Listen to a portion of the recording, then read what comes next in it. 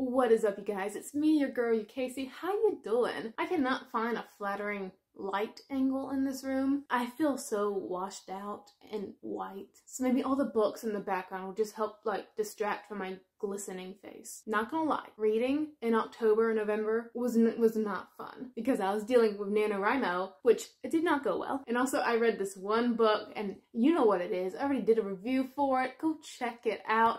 Better Together by Christine Riccio. Yeah, that book nearly killed me, or at least the creative parts of me. It sucked them right out. So I had been in a reading slump for a while, but what always gets me out of a reading slump is reading thrillers. They're like my palate cleanser book. There's no intense world building. They're not like 800 pages. They're short, sweet, not a lot of descriptions to the point, and they make me they make me scared. I love thrillers because they are real life horrors. They're stuff that every single one of us can actually live through, and that makes them terrifying. So here's another two thriller book reviews. I'm gonna do the one I really liked first and the one I didn't really like next. Starting off, we have The Therapist by B.A. Paris. I do not like this cover, but it's a four star book to me. I feel like it's a four star book, like particularly for me. Like, I don't think a lot of people think it's a four star. Maybe around like a three because it's a very character driven book. And usually thrillers are like that, especially the domestic ones where it's just like, oh, I heard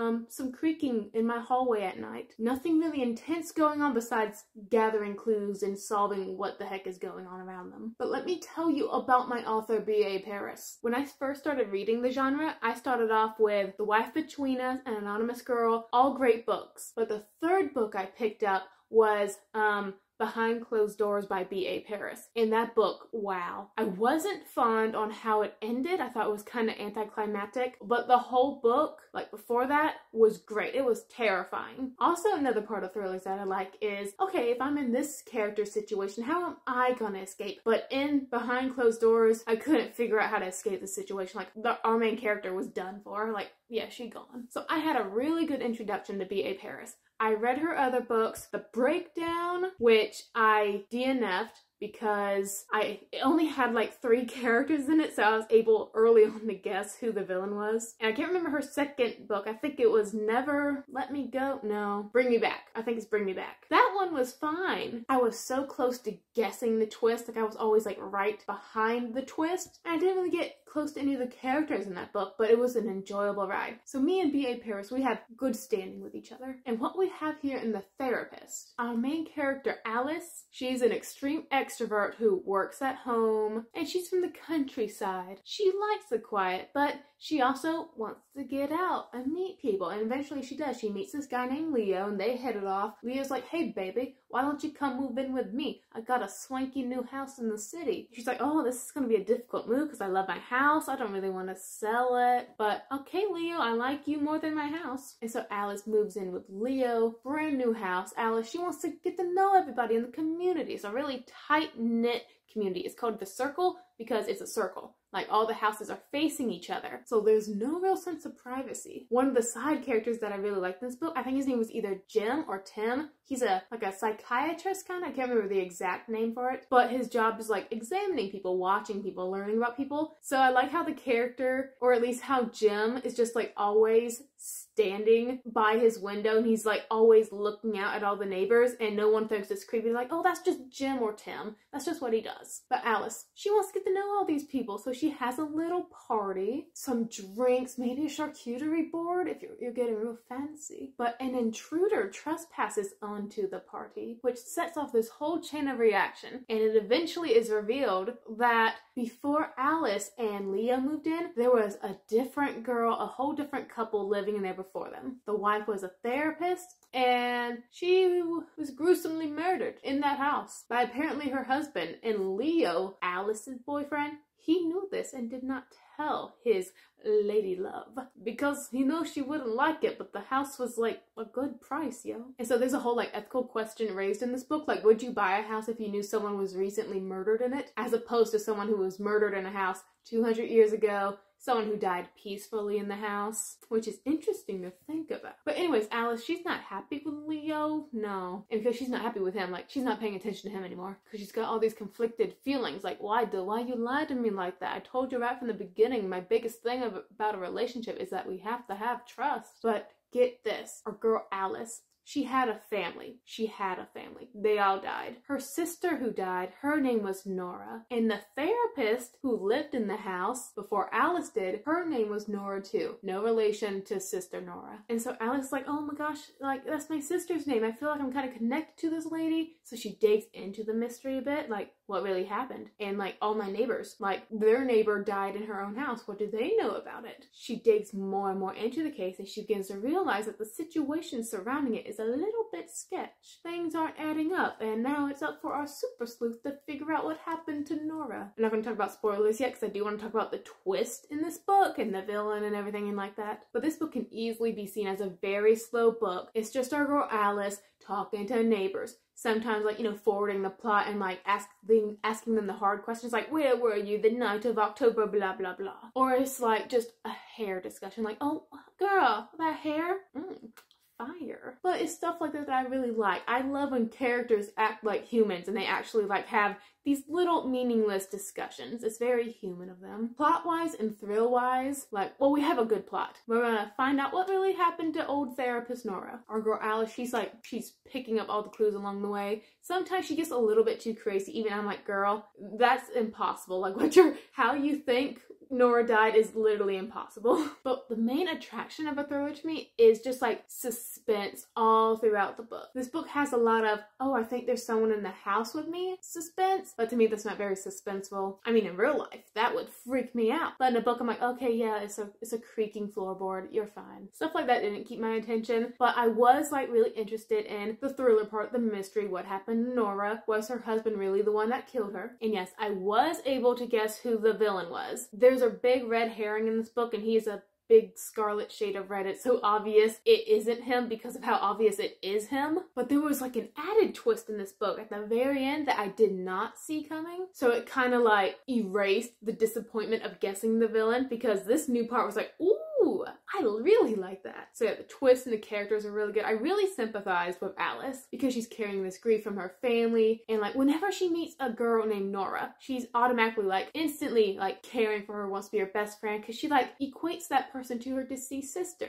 And she doesn't have closure over that. Alice has a really good friend group and they're trying to like get her to move on. Like not forget her sister, but to accept that it's in the past and that she can't hold on to this fascination. I liked meeting all the neighbors in the circle, they all had like really interesting jobs. And as I mentioned before, all their really human uh, conversations. They talked like real people and they were really interesting to get to know. So it's a four star for me. I really wish it had more moments besides, oh, I think someone might be in the house with me. I want more concrete things. Like instead of just hearing a noise, I want our girl to see like a shadow go running past her doorway. Like, ooh, I got chills just like thinking about that because, like I said, I'm very paranoid about people being in my house. So, yes, if you want a nice gripping, character driven thriller that's not too intense, like you might want to sleep at night, but still has a very good end to it, then this is a good one for you. I highly, highly recommend B.A. Paris's um, Behind Closed Doors if you want to freak out. But I want to talk about some spoiler parts of this book real quick. If you don't want to hear about spoilers,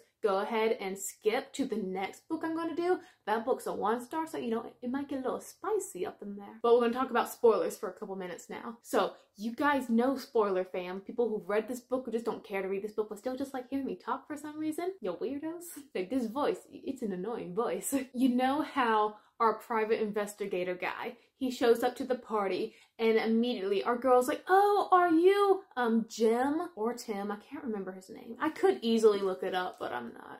And immediately the guy's like, Oh yeah, I'm Jim. No ma'am. No, you gave him all the information right there. You gave him a name and he could just snatch that up. He could be Bob, not Jim. And now he's all in your house drinking your lemonade. That right there is instantly like, this guy is a fake, he's bad news. But then like further on down the road, you learn he's a private investigator. And he seemed like a really nice guy. I liked him for a little bit because he was funny. He actually made me laugh. Because like my name is Tom. And Alice is like, Well, I thought you said your name was Tim. He's like, I never said that, and you can't prove in a court of law that I didn't say my name is Tom or Tim. They're the same name, just different vowels. I liked him at that moment because that sounded like something I would say. I work in customer service, and my name is Casey. Or is it Kaylee? Or Katie? Or Cassie? Kaylee? If I don't want these people knowing my name, I can give them a fake name. Be like, oh, my name's Kaylee. How can I help you today? And then if I do something wrong, or they just don't like my face, they can complain to my manager, be like, oh, that Kaylee girl, piece of trash. Man, we don't know Kaylee. I have bamboozled them. So I related to Tim Tom in that moment. But yeah, later on, it eventually became clear that this guy is the murderer. Private investigator Tom. The main thing that like alarm bells, that set off alarm bells, was because none of the neighbors of the circle ever saw this guy coming into her Alice's apartment, walking up the driveway. So I always knew he had to be close by at all times because it's kind of impossible in this place. Oh, look, my light died. Like my hopes and dreams. I'm blinking the spots out of my eyes real quick. Hold on. Yeah, it's impossible for this guy to go unnoticed to this girl's house. And he's like, "Oh, I came through the uh the password gate." And we know he didn't do that. He was a fantastic liar though. Good on him. And also, I really liked the um past parts of this book. You know how we have the present timeline and then the past, which is from the therapist point of view, I knew um, per, like listening to the past therapist, like how they're talking in their head, thinking, and what we know of therapist Nora. These people weren't the same person. Nora was too kind, like, yeah, people could believe she's kind. She could be a total not kind person. But from the start, I'm just like, these two characters aren't the same characters. And also, the therapist point of view was in first person, which is a good way to hide the pronouns. So we don't know if it's a he or a she. Felt so bad for Nora's husband in this book though. Poor guy. Like you get framed for murder and you kill yourself. That that's just mean. And so later on, oh well first, I couldn't believe that Alice was like pointing the blame finger at the real estate agent in this book. Like he, he hasn't been in this book at all. Maybe he said like one paragraph of dialogue, but she's like, no, he did it. I'm like, girl, you got no evidence for that. You are reaching hard. So everything in that moment was like, yeah, it's the private investigator. Oh, look, it's the private investigator, just like I thought. But then the twist I didn't see coming was that uh, Edward and Lorna, I think, were his parents, and they'd been held captive this entire time. That blew my mind. It made me want to go back and reread this book just to see what Edward and Lorna were doing this whole time. Because I knew they were suspicious because they kept dropping those cryptic hints to Alice, but I also, like an idiot, just kept forgetting while reading this book that they dropped those hints. Like, don't trust anyone, Alice. Oh, be careful who you talk to. Like, I would just straight up forget that they said that. But yeah, how Alice runs from her apartment to Edward's and Lorna's because she trusts them the most out of everyone. And she opens the door, and Edward's just no, not Edward. Uh, private investigator Tom is just standing right there, like, "Hey, baby, welcome to my house. Meet my parents."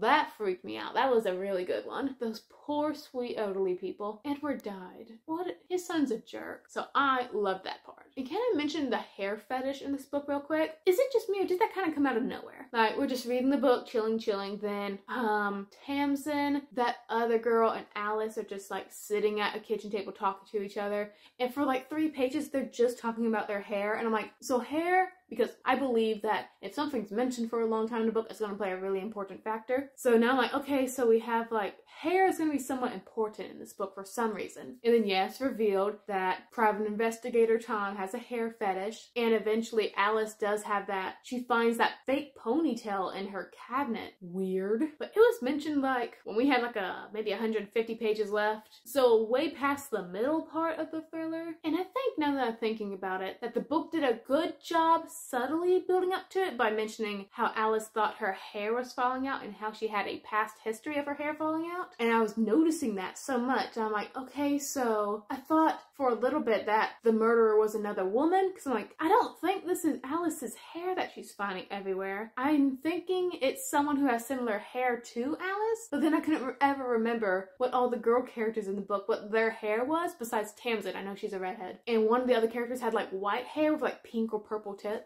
Thinking back on it now, did it come out of nowhere? Probably not. But reading it, it felt like it did. I'm happy Lorna stabbed her awful son in the back with scissors like a billion times. That was great. Highly recommend. Good job. So I had a ton of fun with that book. But now I want to talk about a book that has a lot of the same elements as The Therapist, but doesn't pull it off as well. It's called Such a Quiet Place. Did I pick this book up just because it reminds me of A Quiet Place? Yes. This is by Megan Miranda, brand new author to me. Now this book has a really interesting setup. I gave it a one star though, so the the primary part that I like. Maybe the only part. What we have here is a sleepy little small subdivision, you know, really close-knit neighbors who are way too invested in each other's lives. And they all have, you know, security cameras on their porch. If you make one wrong move, you're gonna get your screenshot posted on the community message board. Like, Rebecca, you double parked again. But what you don't know about this town is that there was a resident there there named Ruby. There was also, right next door to Ruby, a couple, and they were a couple that no one in the neighborhood really liked. But that don't matter now, because that couple's dead. Someone had snuck into their house, disabled their carbon monoxide alarm, turned on their car with the garage door shut, and just let the two like asphyxiate. Asphyxiate.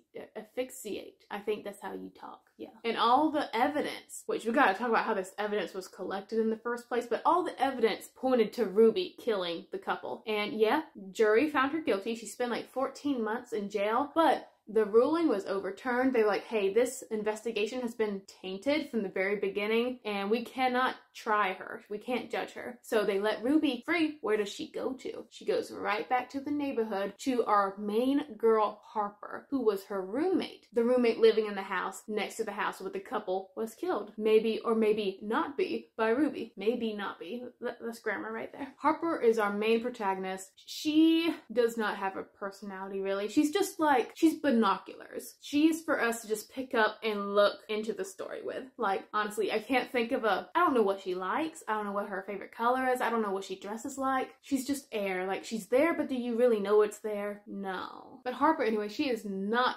thrilled that Ruby is back. She doesn't really believe that Ruby actually killed those two, but she doesn't think she's innocent too. And none of the other neighbors are happy that Ruby's back either. They're trying like all these little sneaky, subtle ways on how to like make her feel like ostracized, make her leave, try to kick her out of the neighborhood. But Ruby's like, uh-uh, I'm staying right here. I'm gonna make all of y'all uncomfortable as I'm lounging out on my beach chair at the community pool. I don't care what you think. And Ruby is also dead set on finding like who set her out to like take the fall for this murder that happened. Yeah, she's about to dig some dirt up, people. She's about to expose all your nasty little secrets. I kinda wish this book had been in Ruby's point of view versus Harper's. That would have made it a lot more interesting, but also kind of impossible. I'll discuss why later on. So this is another like neighborhood book, like all, all of us together, all of us have our own little secret. But rather than giving people personality and just making them interesting to get to know, like the therapist did, and each of these books had a big cast of characters to keep track of, which makes it harder to guess who the villain is, except I knew who the villain was in the therapist. But I didn't know who the villain was in Such a Quiet Place because like all the characters so many of them were spread so thin, I couldn't remember them. And so when the villain was revealed, I'm like, I don't care. And I don't even get your logic, villain. Oh yeah, and that evidence. Like, there's a police officer who lives in the neighborhood, and the two, the couple, were killed, and Mr. Police Officer's like, okay, y'all, let's gather up our evidence. So instead of like turning over all of the footage from their security camera, these neighbors, these Karens, they were just, they were allowed to just send snippets of the videos to the police. Like, oh, here's a two second clip of Ruby walking past my house at midnight. They were allowed to just send in screenshots, basically, versus the entire footage, which just blows my mind. This book, besides me not getting to like any of the characters, it really does have a dragging it, it, drags. It doesn't have a good pace. A dragging drag words. Again it's more of that oh there's someone in my house creepiness which does not hit me well. It doesn't affect me. There's an interesting turn of events that happens like 200 pages in and it is interesting. It turns like um what we know that's happening in the book upside down for a bit because now we have two murders to think about. Technically three, but that, that's 200 pages into the book, and now we just suddenly have another cool event that happened since the beginning of the book, which was, oh, who murdered this couple? That's a long time to keep my interest, and it didn't do that well. Just talking spoiler free, there's not a lot for me to discuss about, besides what I've already mentioned. There is a friendship in this book between Harper and this girl named Tate. Now, I think in the beginning book it's built up like, oh, they used to be good friends, but they had a falling out. Ruby had a part to play in the falling out. But it's mentioned so little and we see so little of Tate that I forgot this friendship even existed. And it's kind of like rebuilt all of a sudden, like, oh, now we're besties again. So that kind of came out of nowhere. I did not like the villain's motives. I didn't, and there's a lot of teenage affairs happening in this book, and I just did not understand it. There is also a character at a pool party, and he's talking to some other character, and he's being a jerk. He's being a little snobbish, a little, I know something you don't. And he's like, well, did you know that your partner was um, cheating on you? Now, he said that, but the way he said that, it was like, I had no idea what he was talking about. Like, he was saying words, and I did not know what he was saying. Like, he was just trying to say, your partner cheated on you,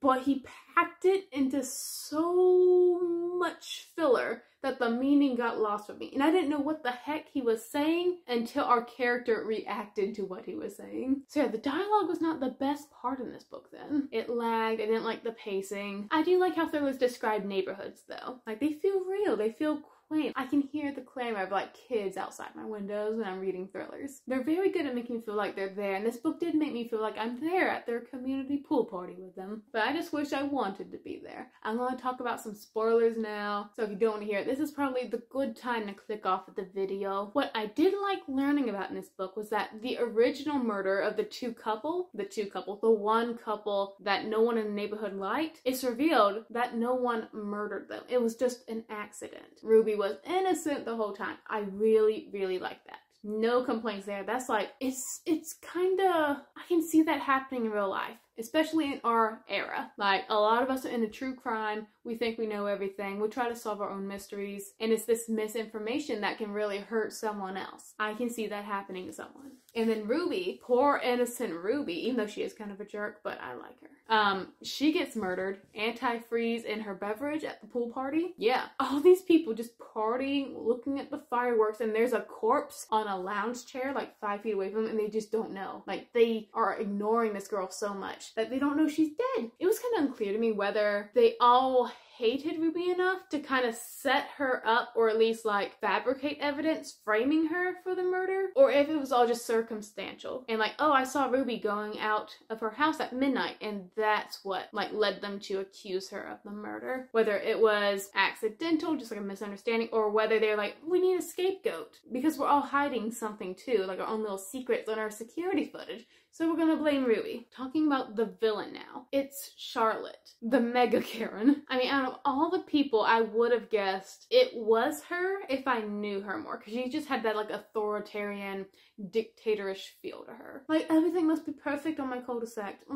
but I didn't get to know her that well. Like she was always just in and out and there were so many characters and they weren't handled well. So I'm like, I don't know how to react to you, lady. I don't get her motivations that well either. Like I get the premise, the most basic summary of her motives for killing uh, Ruby, but I don't really understand it. So Charlotte thinks, I think, I could be wrong with this, because this book, again, was just not good with dialogue or explaining. Charlotte thinks that her two dollar dollars, I have two dollars in my pocket. She thinks her two daughters, uh, Molly and Whitney, I think, had a hand in the couple's death. So she's trying to like keep people away from that. Like, oh no, it was it was Ruby. It was Ruby. Ruby comes back, and now Charlotte sees Ruby as a threat to her daughters, so she kills Ruby. That was just a really big leap for me. Like, is this one girl really so much of a threat legally? She has been cleared. Like, she is innocent. But Charlotte's like, oh no, she's guilty. Oh, no, it can't be my daughters. It has to be Ruby. Let me murder her. Again, I really liked how it was revealed that the original murder was completely an accident. That was fantastic. I really liked it. And I loved how just the message board was used in this book. Like, texts, emails, messages, diary entries. I typically love those in the book. They're a good way to like give the reader information, but also like just take a break from the pacing too. So besides the use of the message board, which only happened like five or six times, the original murder not being a murder, Ruby being innocent this whole time, those were the only like three things I liked about this book. I couldn't get to know any of the side characters. It's, it's really bad that I didn't even know our main character, Harper. There were way too many characters to keep up with and they just did not have the personality to keep up with them. I could understand some of the motives for the neighbors for hiding the security footage, but I couldn't understand Charlotte's motive. It was just way too, too much for me, I guess without the proper build up. And y'all, that is it for me. Tell me what is the latest thriller you've read. I've realized that I have not read Gone Girl at all. Seen the movie. It's a movie, right? I don't even know what the book's about. And that's like the most popular thriller ever. And I need to fix that. So I have one more thriller from the library. One of Us is Lying. I'm going to finish that. Then I'm going to get Gone Girl. What are you going to plan on reading? Thank you guys so much for watching and stay ready, my friends.